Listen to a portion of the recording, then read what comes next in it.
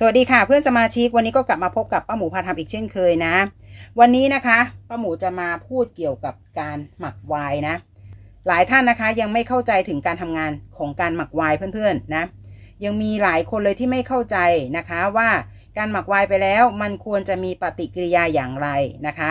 วันนี้ป้าหมูก็จะมาสอนให้เพื่อนๆได้เห็นถึงปฏิกิริยาของการหมักไวน์นะคะ ตั้งแต่เริ่มหมักในวันแรกเลยนะ ปฏิกิริยาของ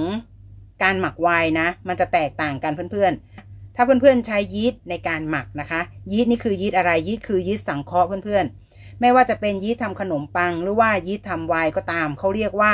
ยีสต์สังเคราะห์นะคะ ยีสต์สังเคราะห์เนี่ยมันจะทำงานได้ดีคือหมักไปแล้วหนึ่งคืนนะ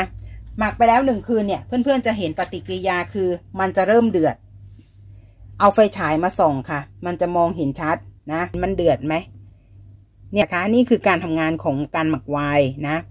เขาจะเดือดเป็นฟองเนี่ยแบบนี้เลย เห็นไหมคะ เนี่ยเขาจะเดือดปุดปุดปุดปุดขึ้นมาแบบนี้เลย เนี่ย มันคือเรื่องปกติค่ะทำไวน์แล้วไม่มีฟองนั่นคือผิดปกติเพื่อนๆ ยีสต์สังเคราะห์เนี่ยคือยีสต์ทำขนมปังและยีสต์ทำไวน์นะ มันแบ่งเป็นสองประเภท หมักผ่านไปหนึ่งคืนหลังจากที่เราทำอะ มันจะเดือดเป็นฟองปุดๆขึ้นแบบนี้ เวลาที่เพื่อนๆทำนะ จะต้องเว้น พื้นที่ให้ยีสต์ทำงานด้วย อย่างน้อยเนี่ยสักประมาณสักประมาณคืบนะเพื่อนๆนะให้มันเต็มถังแบบนี้เพราะว่า เวลาที่ยีสต์ทำงานเนี่ย มันจะดันฟองล้นออกมานอกถังเลย แต่อันเนี้ยป้าหมูมีความชำนาญป้าหมูรู้ว่า เราใส่ปริมาณเท่าไหร่นะ เพราะว่า base แต่ละชนิดมันไม่เหมือนกันนะเพื่อนๆ บอกเลยถ้าเป็นไวน์ coffee นะหรือว่าไวน์มะขามเนี่ยเพื่อนๆเทได้แค่ครึ่งถังนะ แต่ฟองมันสามารถดันขึ้นถึงปากปากขวดได้เลยนะ มันใช้พื้นที่ในการทำงานเยอะมากนะ การทำไวน์แต่ละชนิดเพื่อนๆต้องศึกษา นะป้าหมูมีบอกมีสอนในคลิป ในคลิปต่างๆ ที่ป้าหมูสอนทำไวน์เนี่ยป้าหมูบอกอย่างละเอียดเลย นะ เราต้องเว้นพื้นที่ให้ยีสต์เขาทำงานนะคะ ไม่ว่าจะเป็นยีสต์สังเคราะห์หรือว่ายีสต์จากธรรมชาติก็ตามป้าหมูพูดถึงยีสต์สังเคราะห์ไปแล้วนะคะว่า เขาจะทำงานได้ดีหลังจากที่เราหมักผ่านไปหนึ่งคืน มันจะมีฟองมันจะมีมากกว่านี้นะ ฟองเพื่อนๆ อันนี้ป้าหมูหมักมาสิบวันแล้ว แต่ยังมีฟองขนาดนี้เพื่อนๆดูนะสองถังเนี่ย อันนี้คือหมักมาสิบวันนะ เพราะว่ามันไม่มีถังที่เพิ่งทำค่ะ แต่ว่าวันนี้มาถ่ายทำให้ดูเนี่ย เพราะว่ามีคนถามเข้ามาเยอะมากเลยว่าวายเสียหรือเปล่า มันบูดหรือเปล่า มันขึ้นฟองเยอะแบบนี้ วายมันไม่บูดค่ะเพื่อนๆนะ การทำวายที่ถูกต้องมันจะไม่เคยเกิดการบูดเน่าเลยนะ การเกิดฟองเนี่ยมันเป็นปฏิกิริยาที่ยีสต์เขาไปกินน้ำตาลหรือกินความหวานที่เราหมักในถังเนี่ยนะ มันก็เกิดดันอากาศออกมาแบบนี้มันก็เกิดเป็นพายน้ำเป็นฟองแบบนี้นะคะ คราวนี้ถ้าเพื่อนๆใช้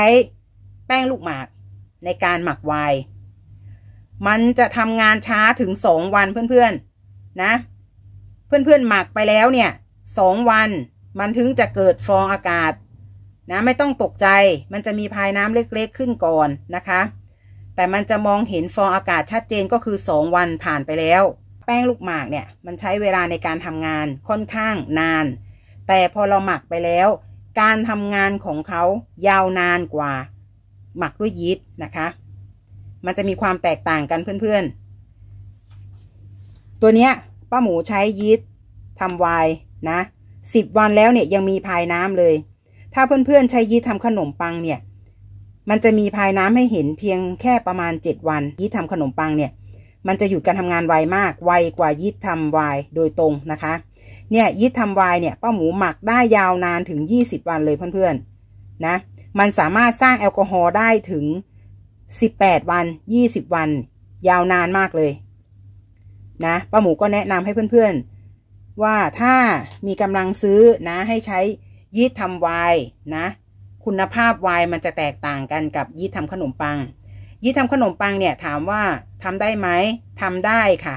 ป้าหมูสอนมาแบบเป็นร้อยคลิปเลยป้าหมูก็ใช้ยีสต์ทำขนมปังเหมือนกันนะ เพราะว่าราคามันถูก เพื่อนสมาชิกก็สามารถทำตามป้าหมูได้ง่าย เพราะมันหาซื้อยีสต์ทำขนมปังได้ง่ายมาก ตามท้องตลาดสด หรือว่าซูเปอร์มาร์เก็ตทั่วไปมีขาย แต่ยีสต์ทำไวน์มันค่อนข้างจะหาซื้อยากเพื่อนๆ มันจะต้องเป็นร้านเฉพาะที่เขาขายอุปกรณ์ทำไวน์เนี่ยมันถึงจะมีขายหรือว่าในแอปส้มแอปฟ้าพวกเนี้ยเขาจะมีขายนะป้าหมูก็มีแบ่งจำหน่ายนะคะยีสต์ทำไวน์นะคราวนี้หมักแป้งลูกหมากเนี่ย กว่าจะทำงานนี้คือสองคืนนะคะสองคืน หลังจากที่เราหมักไปแล้วเนี่ย มันทำงานช้าก็จริงเพื่อนๆ แต่มันทำงานยาวนานถึงยี่สิบวันยี่สิบวันเนี่ย มันยังมีความหวานหลงเหลืออยู่เลยนะ เพราะว่ามันจะมีมันจะเพิ่มความหวานค่ะ แป้งลูกหมากเนี่ย มันดีตรงที่ว่าเราหมักไปเนี่ย มันจะมีความหวานเพิ่มขึ้นนะ ถามว่าหวานแหลมแสบคอไหมไม่ค่ะ หวานแบบกลมกล่อมอร่อยนะ แต่มันก็จะมี พายน้ำขึ้นแบบนี้ให้เพื่อนๆเห็นนะ มากน้อย แล้วแต่เบสที่เราใช้เบสคืออะไร เบสคือผลไม้ค่ะ เบสคือผลไม้ หรือสมุนไพรหรืออะไรก็ตามที่เราเอามาหมักไว้อะเขาเรียกว่าเบสนะฟองมากฟองน้อยเนี่ย มันขึ้นอยู่กับ base นะคะ อย่างองุ่นถ้าเป็นไวน์องุ่นฟองมันก็จะมากนะ ไวน์ coffee นะคะไวน์ coffee คืออะไรคือไวน์กาแฟที่เราเอากาแฟมาทำไวน์เนี่ย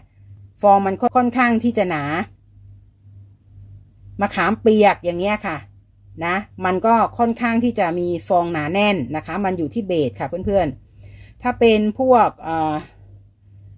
สมุนไพรตัวอื่นนะคะ เป็นผลไม้ตัวอื่นเนี่ย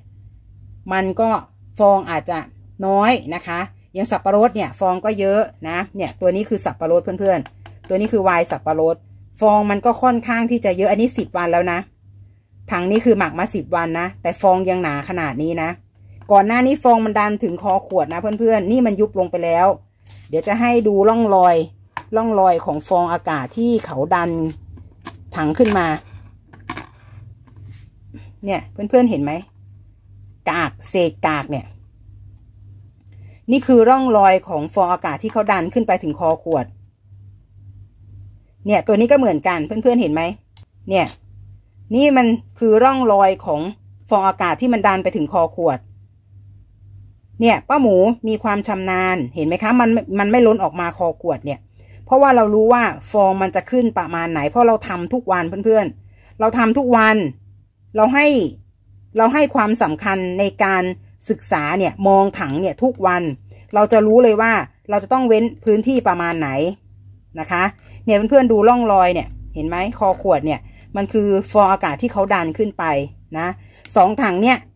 คือใช้เวลาในการหมักสิบวันเท่ากัน ป้าหมูเอามาให้ดูเป็นตัวอย่างนะ ก่อนหน้านี้คือเราไม่ได้ถ่ายทำตอนที่หมักวันที่สองที่สามเนี่ย เพราะว่าคิดว่าไม่จำเป็น แต่ว่าพอมีสมาชิกถามเข้ามาเยอะ ว่าทำไมฟองมันเยอะเกิดฟองสามวันสี่วันเกิดฟอง มันคือเรื่องปกติเพื่อนๆ ถ้า ท่านหมักไวน์ไปแล้วมันไม่เกิดฟองสิ มันคือเรื่องผิดปกติ นะ หมักไวน์มันต้องเกิดฟองค่ะ ถ้าของใครหมักไปแล้วหนึ่งคืนสองคืนสามคืน มาดูถังของตัวเอง ไม่มีฟองอากาศไม่มีพายน้ำเลย ใช้ไม่ได้นะเพื่อนๆ ต้องทักหาป้าหมูนะ ป้าหมูจะสอนวิธีแก้ไขนะ มันต้องแก้ไขลายบุคคลนะคะ มันแก้ไขรวมกันในคลิปไม่ได้ เพราะว่าแต่ละคนเนี่ยใช้เบสต่างกัน ใช้น้ำตาลใช้น้ำต่างกัน มันต้องแก้ไขเป็นลายบุคคลไปป้าหมูไม่ได้คิดเงินค่าแก้นะ สอนฟรีค่ะ ต้องทักไลน์เข้ามานั่นเองนะ เพราะว่าเราจะได้สอนแก้ไขส่วนบุคคลค่ะป้าหมูไม่ได้สอนเป็นคลิปคลิปการแก้ไขแต่ละอย่างมันเยอะมากนะ จะหาเวลามาสอนแก้ไขแต่ละชนิดให้แล้วกันนะ คลิปนี้นะคะ เอาแบบองค์รวมก่อน ถ้าใช้ยีสต์ธรรมชาตินะยีสต์ธรรมชาติคืออะไรคือลูกเกดแห้ง คือเปลือกสับปะรดนะ มันมีแม้กระทั่งในในขานะคะ ในขิง มันก็คือยีสต์ธรรมชาตินะเพื่อนๆ การใช้ยีสต์ธรรมชาติเนี่ย ฟองเขาอาจจะไม่ได้เยอะ การทำงานของยีสต์ธรรมชาติจะสั้นกว่ายีสต์สังเคราะห์นะคะ อาจจะประมาณสักเจ็ดวันสิบวันเนี่ย ฟองมันจะเริ่มหายแล้ว แต่มันยังทำการหมักนะเพื่อนๆ ถึงมันจะไม่มีฟองเนี่ย แต่เขาก็ยังทำงานอยู่นะคะ ยีสต์ยังทำงานอยู่นะ เพื่อนๆอย่านึกว่า ฟองหมดไปแล้วแล้วยีสต์เขาจะหยุดการทำงานไม่ใช่นะ ยีสต์ธรรมชาติเนี่ย พวกเปลือกสับปะรดพวกลูกเกดแห้งอะไรที่ป้าหมูสอนน่ะเจ็ดวันไปแล้วสิบวันไปแล้วถึงมันจะมองไม่เห็นฟอง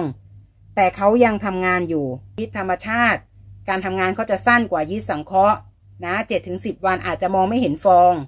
แต่ยังทำงานอยู่ ไม่ใช่ว่าหยุดการทำงานนะเขายังทำงานอยู่แต่ฟองอาจจะน้อยนะคะ ตัวนี้นะ เนี่ยยีสต์ทำวายเนี่ยเพื่อนๆดูเลยป้าหมูให้ดูเนี่ยสิบวันสิบวันผ่านมาแล้วเพื่อนๆดูยีสต์มันยังทำงานแบบฟู่ฟ้าสุดๆ เนี่ย มันยังแบบฟองฟองยังหนาแน่นเลยนะ เนี่ยฟองยังหนาแน่นแบบนี้เลยในถังเนี่ยเดือดปุดปุดปุดเลยเพื่อนๆเอาไฟฉายส่องเนี่ย คือน้ำมันจะเดือดพุ่งเลยนะเขาก็จะค่อยๆทำงานไปค่ะเพื่อนๆ เราก็ต้องให้เวลาเขานะ การทำงานของเขาคือการสร้างแอลกอฮอล์ค่ะ ยีสต์มันจะเข้าไปกินน้ำตาลนะ แล้วก็สร้างแอลกอฮอล์หลายท่านที่บอกว่า ก็รอให้ยีสต์กินน้ำตาลหมด และหยุดการทำงานไปเองไม่ต้องน็อก ก็แล้วแต่ท่านนะคะ สูตรใครก็สูตรมันเนาะอันนี้สูตรของป้าหมูเนี่ยป้าหมูก็สอนตามวิธีของป้าหมูนะคะ ไม่ได้บอกว่าสูตรไหนผิดหรือว่าสูตรไหนถูกนะ มันสูตรใครก็สูตรมันอันนี้ป้าหมูก็บอกตลอดว่า สูตรในช่องป้าหมูพาทำทุกสูตรป้าหมูคิดค้นด้วยตัวเอง วิธีการสอนก็อาจจะไม่เหมือนคนอื่นเขานะคะ ก็แล้วแต่ท่านจะสะดวกทำตามคลิปป้าหมูหรือว่า สะดวกที่จะไปดูคลิปของท่านอื่นนะ มันก็เป็นสิทธิ์ของท่านนะคะ อย่าดูอันเดียวแล้วมาเหมารวมว่าวิธีการทำเหมือนกันหมดนะ ต้องดูแต่ละชนิดไป เพื่อนๆดูวายสับปะรดเพื่อนๆก็เอาไปหมักวายสับปะรดไม่ใช่ดูวายสับปะรดแล้วเพื่อนๆเอาไปหมักวายองุ่นไม่ได้นะ ต้องดูแยกชนิดค่ะเพื่อนๆจะทำวายองุ่นเพื่อนๆก็ไปหาคลิปวายองุ่นวายองุ่นก็มีเป็นสิบสูตรวายสับปะรดก็มีแบบเป็นยี่สิบสูตรอะเพื่อนๆตอนนี้ป้าหมูยังตัดต่อไม่เสร็จเลย มีเยอะมากนะ แต่ละสูตรก็รสชาติแตกต่างกันไปนะ ถามว่ารสชาติแบบไหน ไม่มีใครตอบถูกหรอกค่ะ ความชอบมันต่างกันนะ ถ้าอยากรู้ว่ารสชาติเป็นแบบไหนทักไลน์ค่ะเพื่อนๆป้าหมูมีให้ชิมจะได้รู้ว่ารสชาติเป็นแบบไหนถ้าถามเนี่ยป้าหมูก็มีบอกในคลิปนั้นๆ อยู่แล้วว่ารสชาติประมาณไหน แต่มันก็ไม่เหมือนกับเราชิมเองหรอกนะ เพื่อนๆอยากชิมเพื่อนๆก็ทักไลน์มา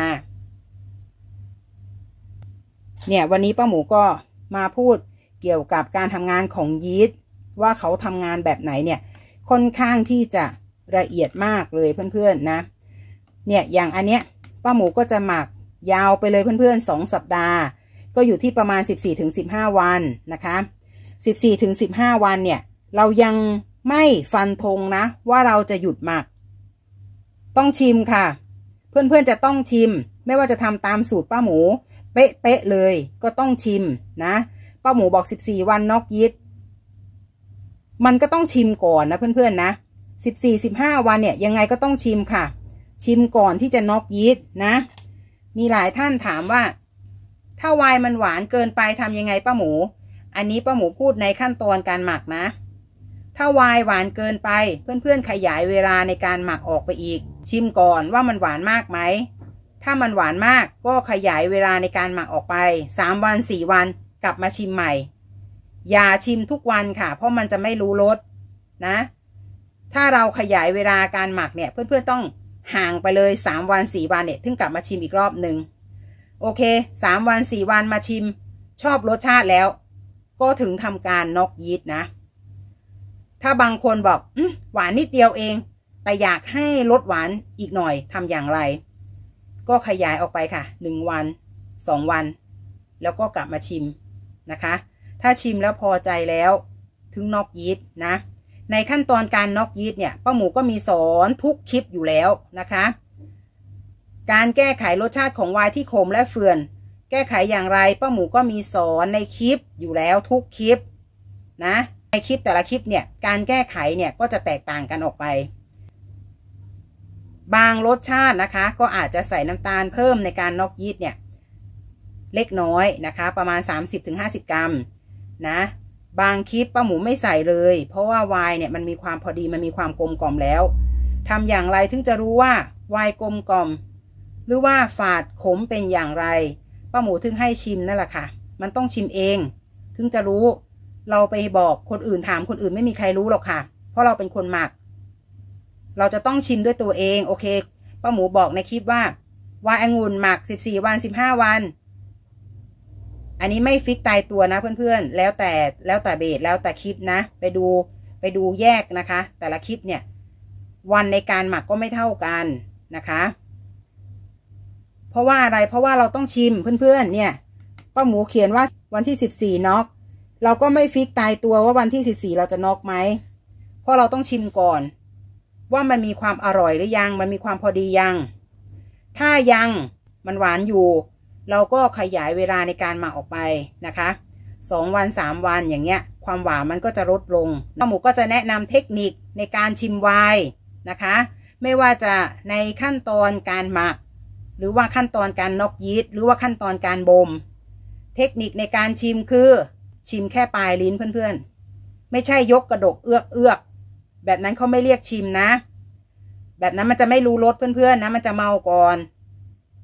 นะ ถ้าไม่งั้นอะทำคลิปสอนแบบป้าหมูไม่ได้แน่ๆป้าหมูชิมแบบเพียงแค่ปลายลิ้นเข้าใจไหมคะ คือจะชิมผ่านแก้วหรือชิมผ่านช้อนก็ตาม ชิมแค่ปลายลิ้นค่ะ และอมไวน์ไปก่อน อมไว้ก่อนสักคู่หนึ่งให้มันรู้รสชาติ อย่าพึ่งให้มันแบบไหลลงคอพรวดไปเลย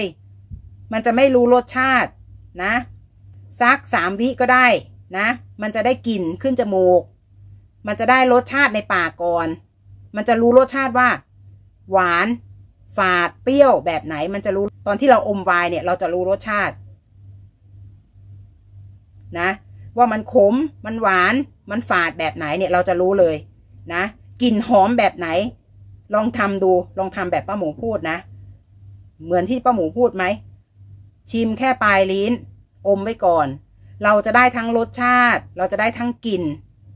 นะคะ นี่มันคือเทคนิคเพื่อนๆ ไม่ใช่โอ้ยชิมชิมก่อน ยกไปครึ่งแก้ว พวดลงคอลงกระเพาะไปเลย เมาก่อนจะรู้รสค่ะเพื่อนๆนะ ไม่รู้รสชาติหรอก ต้องชิมแบบป้าหมูบอกนะ เพื่อนๆจะได้รสชาติ วันนี้ป้าหมูก็มาพูดคุยมาสอนถึงเทคนิคเล็ก ๆ น้อยๆที่เพื่อนสมาชิกที่จะทำไวน์ควรจะรู้นะคะ ก็หวังว่าจะเป็นประโยชน์กับทุกท่านนะ เพื่อนสมาชิกท่านใดที่เข้ามารับชมคลิปวิดีโอของป้าหมูแล้วรู้สึกชื่นชอบ และเป็นประโยชน์สำหรับท่าน ก็ช่วยกดไลค์เป็นกำลังใจให้ป้าหมูด้วย กดแชร์ออกไปเยอะๆนะคะ เพื่อนสมาชิกท่านอื่นจะได้รู้ถึงวิธีการทำไวน์อย่างถูกต้องป้าหมูก็สวัสดีทักทาย FC ทุกท่านนะคะ ทั้งที่อยู่ต่างแดนและอยู่ในประเทศนะ